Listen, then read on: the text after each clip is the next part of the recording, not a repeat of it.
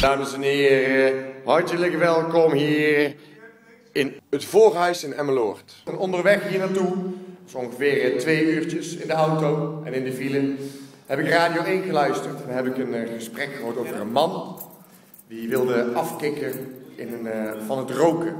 En die werd geïnterviewd en toen vroeg die man, dus u, uh, hoe gaat het met u? Toen zei hij, ja, het gaat heel erg goed. Maar ik heb gisteren een terugslag gehad. Hoezo dan?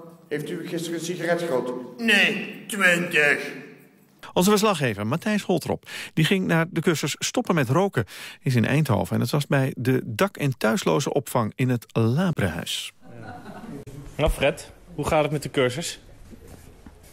Ja, het gaat gewoon uh, wel goed. Ik heb alleen... Sorry. Ik heb alleen een terugval gehad. Het werd gisteren even te moeilijk en uh, toen heb ik toch uh, checkie gerookt. Ja, niet één hè? Nee, twintig. Ik had zo'n enorme drang naar uh, een sigaret.